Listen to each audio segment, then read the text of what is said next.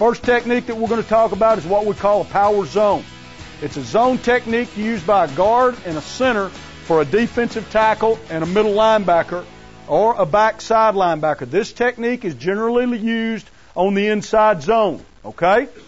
Now, what we teach is this on the power zone, and a lot of these have carryover value.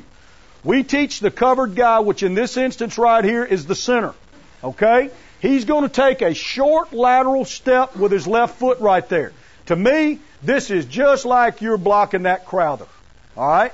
It's no different. That guy right there is the Crowther sled, and that guy right there is the linebacker that's standing over there with that hand on his shield, or that shield in his hand.